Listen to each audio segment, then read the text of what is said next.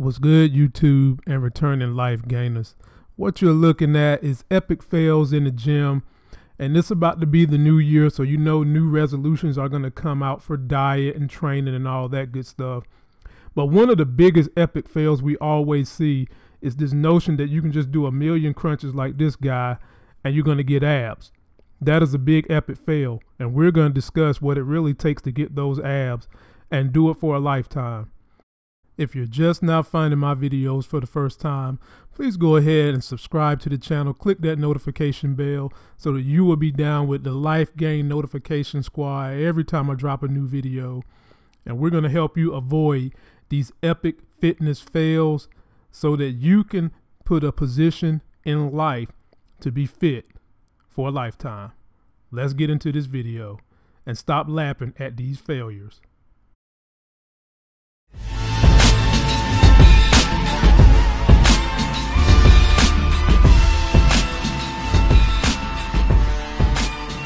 Good, YouTube? All knowing, all loving, all feeling, all seeing, all powerful. Just damn all everything. That's sexy as hell host of the Life Gains channel. Bringing you guys your life gain today in fitness.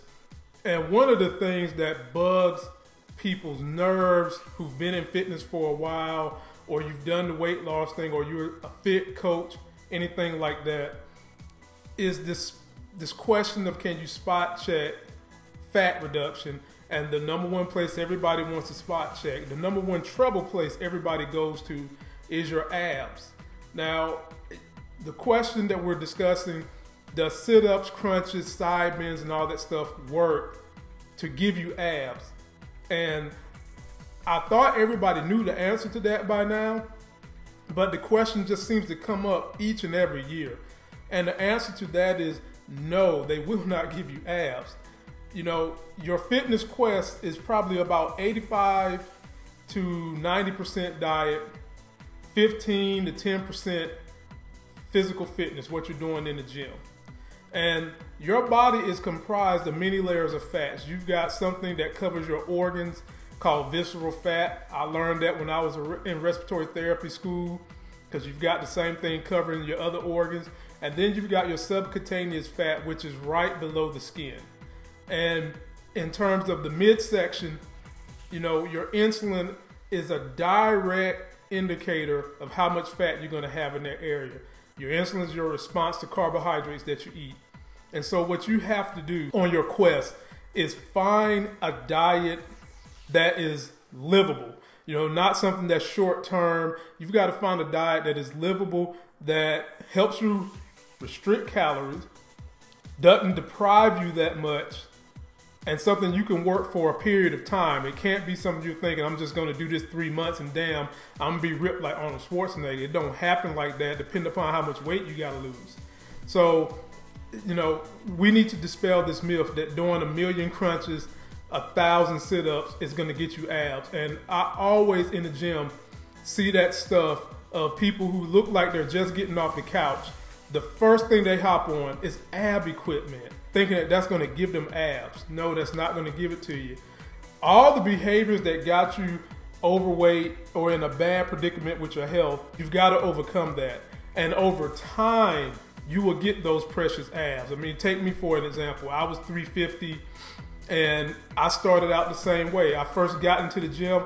All I wanted to do was abs, million hours of cardio, lightly change my diet, and didn't get many results. You know, I lost a little bit of weight, but you never really lose that weight in the abs first. You know, what you should be doing is titrating your diet and not just work on your abs, work on strengthening all the areas around your abs. Work on strengthening your lower back before you even engage in the ab.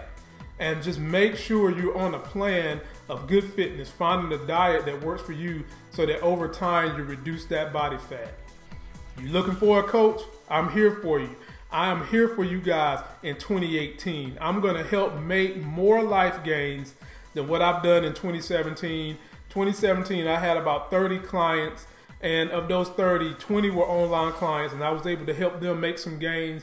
And pretty much all of them are seeing abs right now, but it took them working with me in conjunction to figure out what was the best diet that kind of was simple in their lifestyle.